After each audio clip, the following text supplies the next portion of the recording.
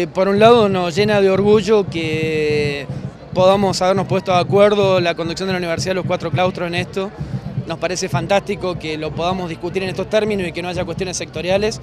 Por otro lado, nos pone muy triste que tengamos que estar haciendo esto. Nos gustaría estar celebrando eh, los 67 años de la gratuidad de la universidad en otro contexto y no en un contexto de reclamo, de amenaza del sistema universitario, de desarticulación del sistema universitario.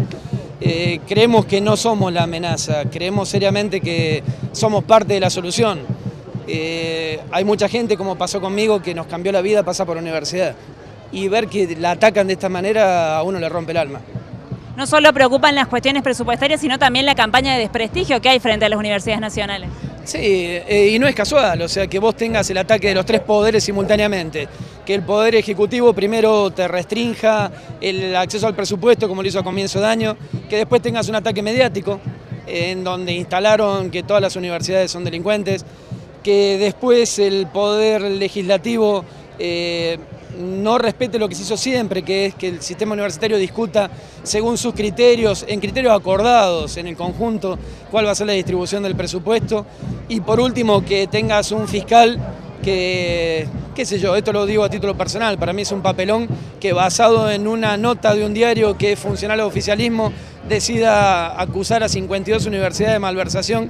cuando esta es un delito anacrónico, ¿no? Las universidades son autónomas y autárquicas, y sabemos que las universidades pueden o no cometer errores, pero no se están robando la plata del Estado, la están transformando en educación, en cultura, en extensión, en servicio. Por último, secretario, ¿cómo siguen las próximas semanas teniendo en cuenta que ya se acerca el final de año? Mira, ahora vamos a ver, eh, tenemos todavía una convocatoria para que se pidió ante el Consejo Superior en aquella asamblea, en aquel Consejo Superior ampliado, que era tener presencia en la ciudad. Eh, estamos viendo si nos organizamos para primera segunda semana de, diciembre con una, en realidad con un acto, no con una manifestación ni con un planteo de estas características, sino con un acto donde se pueda mostrar a toda la comunidad lo que es la educación pública.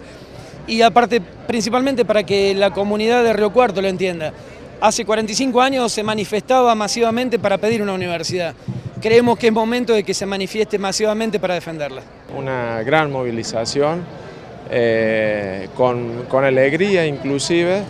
pero con una contundencia enorme, eh, entendiendo que algunas actitudes que se toman desde algunos estamentos del Estado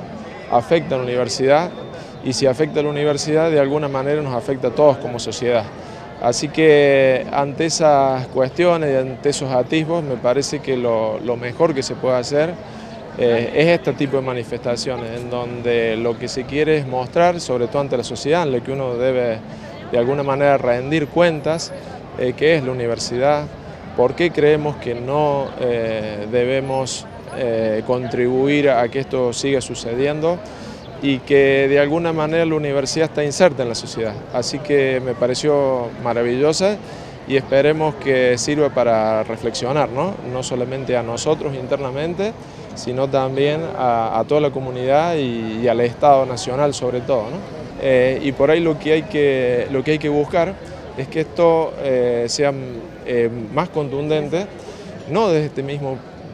punto en el cual hagamos algún tipo de, evento del, tipo que vivimos hoy, pero sí en eso de que la universidad esté más inserta en el medio, que esté más comprometida con el medio, que trabaje para el medio, que se enfoque más en el entorno eh, y eso seguramente nos dará un apoyo mucho mayor del que todavía tenemos. Así que espero que lo hayamos logrado se ha querido mostrar eso, yo estoy casi convencido que sí, y esperemos que, que, podamos revertir la situación. Bueno, estoy muy contento en primer lugar por la manifestación que se ha realizado. Ha sido una manifestación multitudinaria en defensa de la educación pública y todo lo que el sistema educativo representa para la República Argentina. Creo que sin educación un país no avanza y por eso me siento muy contento y muy honrado por todo el apoyo que ha brindado tanto los diferentes gremios relacionados con la educación como el pueblo en general. Y justamente uno de los aspectos más preocupantes tiene que ver con el recorte presupuestario para ciencia y técnica. Efectivamente, eh, se ha dado un recorte significativo en el área de ciencia y técnica, lo cual significa para el país no poder adelantar en su desarrollo tecnológico.